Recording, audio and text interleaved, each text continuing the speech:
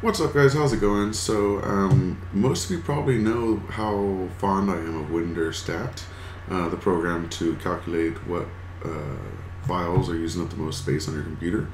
And um, it's pretty much been WinDirStat forever. I've tried a few other programs, and none of them seem to really do as good of a job, but WinDirStat isn't perfect.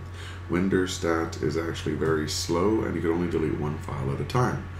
So I found WizTree, a new piece of software. Well, not new. It's actually been out since 2013. I just never found it. It's new to me, and um, it's made by Antibody Software, and it uses the um, where is it? The master file table to find the list of contents on your hard drive instead of having to scan your entire hard drive um, file by file like WinDirStat does.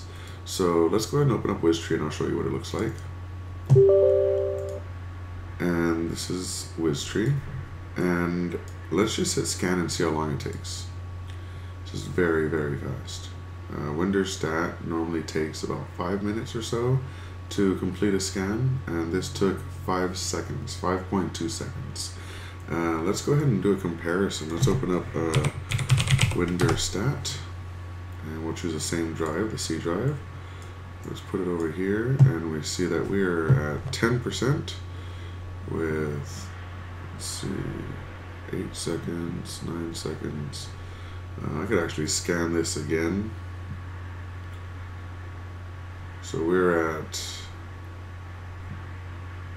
let's see, 35% on WinDirStat and WizTree just finished another scan in 7 seconds as WinDirStat was working on it. So we're barely at 41%, not even halfway done, and WizTree has already done it twice so much faster. And um, another problem is when you try and go and delete multiple files, uh, you can only highlight one at a time. But over here, you can actually highlight as many files as you want and then delete them just as you would in Windows Explorer, which is very, very useful when you're mass ed editing files.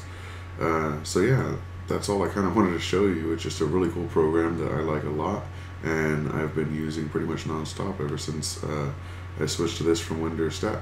Alright, so I hope you guys enjoy this one, and uh, thanks so much for watching. Peace.